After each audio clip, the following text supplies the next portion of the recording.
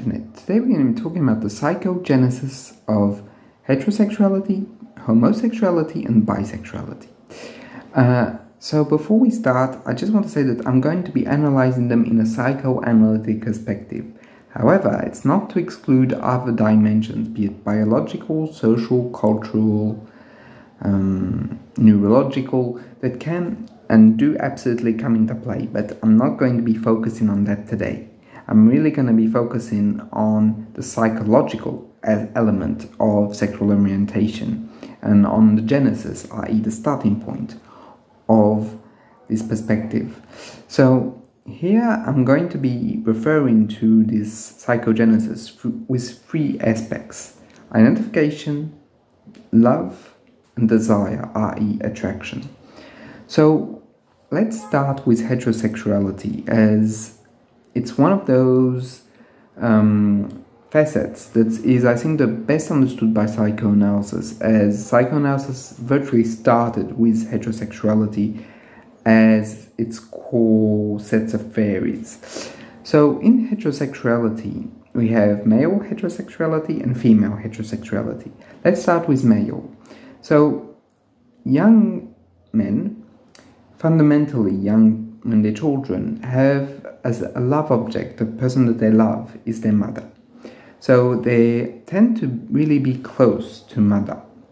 It's only through what is called the Oedipus complex that the father comes into the picture and becomes a source of identification, i.e., the child is going to identify to their father, the male child is going to identify to, to their father, look up to him, become uh, admirative of who they are, and become envious also that the father is able to have such an intimate relationship with their mother.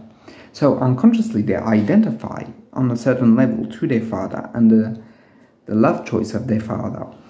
And fundamentally, it becomes uh, a, such an ingrained identification in who they are to the father figure that they're going to also reinforce their love for the mother, uh, but their love in a desirable way, i.e., they're going to desire women, as the father also himself desires mother, and by extension, at least in theory, a whole plethora of other women.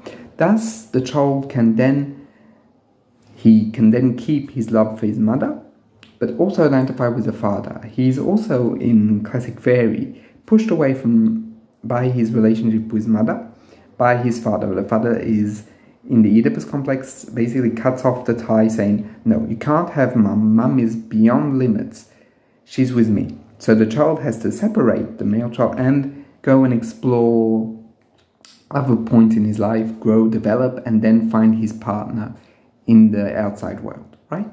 So with the male child, there's this identification with the father, there is they keep the love object of the mother in inside of themselves and they're attracted to women. That attraction is also based on all the good experiences that they've experienced with mother, but also the sexual components that they experienced during their development, because there is a lot of excitement that can happen during those moments.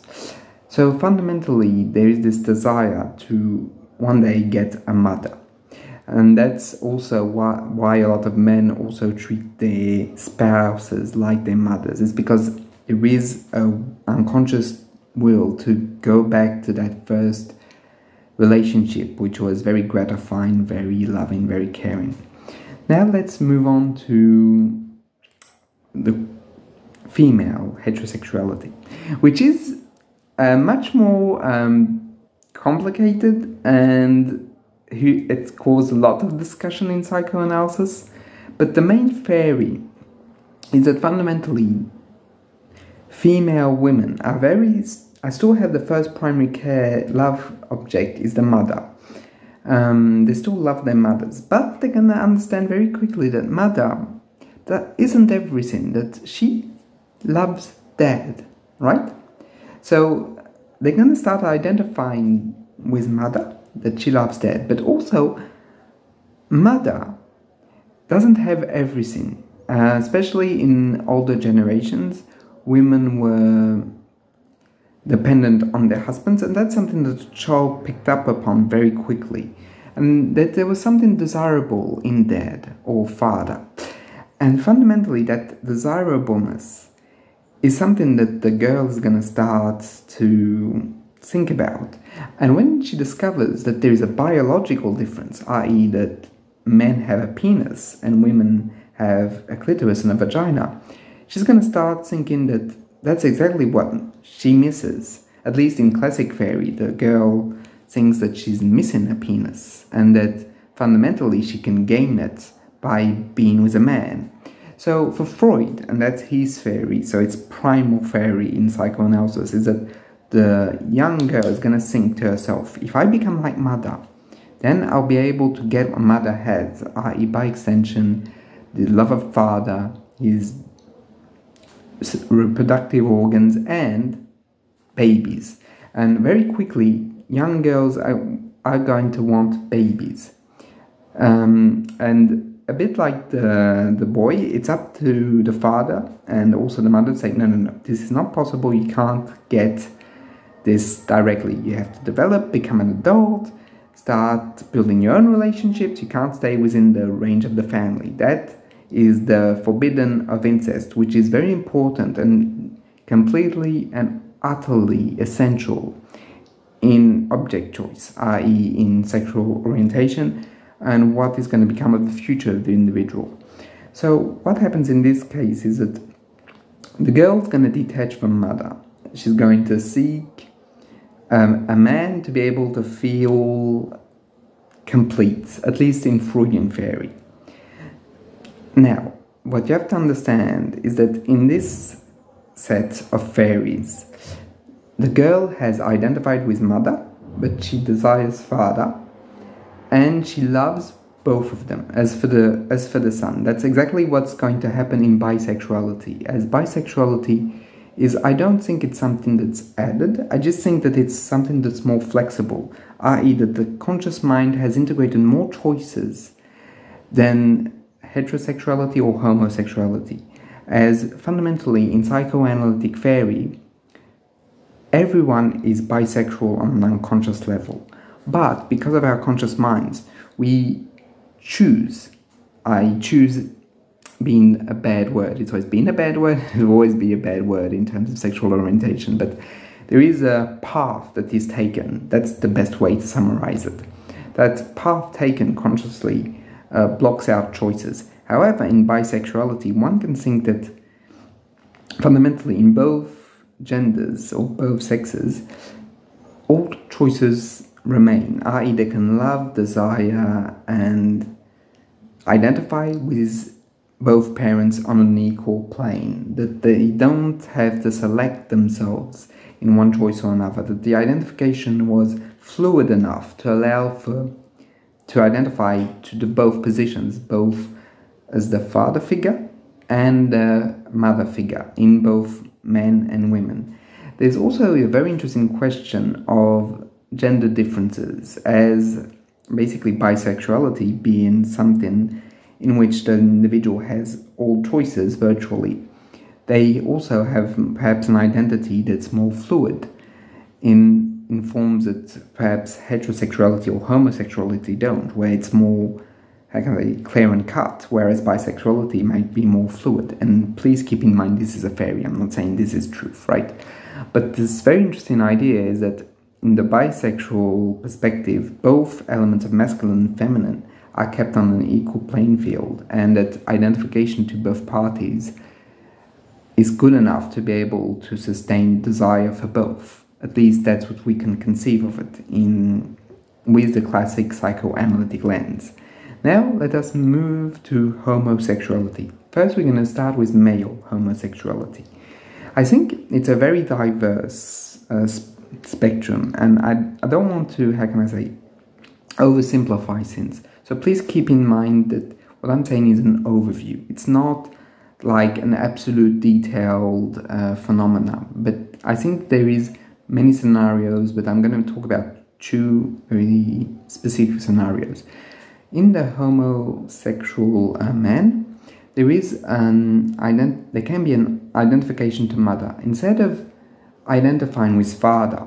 They're gonna stay with mother. They're not gonna push out that, but they're overly gonna emphasize their relationship with mother. She's gonna become the role, the primary role model, and as such, they're gonna identify with her. But they're also gonna start desiring what she desires, i.e., men, and therefore they're gonna feel more comfortable in the idea of desiring men than women. As, for example, the fact that they have identified with her and keep in mind, there's nothing wrong with that. They've just identified with her on an unconscious level. Therefore, they're going to not be attracted to the woman's, um, how can I say, physical attributes, but towards male attributes. Freud called this uh, attraction to uh, narcissistic object choice, i.e., that fundamentally what the homosexual man is identifying with is with the fact of receiving what he received within the other, i.e., that the other is like a mirror of who he once was. And I don't think it's impossible, but I don't think it's quite accurate. I also think that fundamentally what is primal is the fact that they have identified with mother herself. And once that they've identified with her, they can identify the other as father, but also as a part of themselves. So I think that both can be true at the same time. That's the beauty of the unconscious mind, is that it's fluid and it's non-contradictory. Um, so in this case, in the first case, a homosexual men have identified with mother.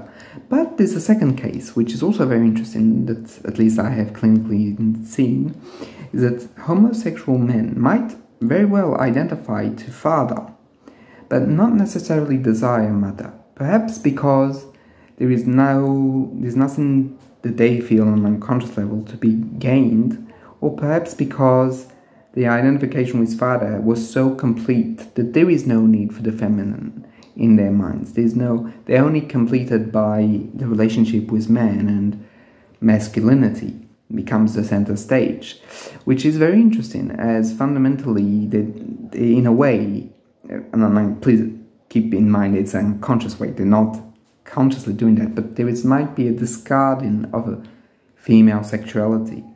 We can also think that perhaps the fear of castration might also be, play a role in the fact that women are lacking something, therefore they might be they might be afraid. And if we go back to Freud's first conceptualization, there might be a fear of castration if you went towards women, that the Oedipus complex was perhaps too too potent, too strong, that you, you can't have mother, you can't have any woman, you can only have men. And please keep in mind this is only a hypothesis, right? So fundamentally, now that we have explored uh, male homosexuality, we can move on to female homosexuality. So in this case, very interestingly enough, the same type of rules can apply. They can identify with father to the point where fundamentally they're no longer attracted to masculinity because they themselves have internalized the masculine elements of themselves and of father. Therefore, they don't need any more the, um, or they're not attracted or they don't desire the men. But however, they do desire women because in a way that's identification, that deep identification toward towards father or dad has created um, um, a lack in the female figure which they can try and grasp by having relationships with women. That relationship with women is in a way of staying in the lineage of father. As he desires women, they desire women.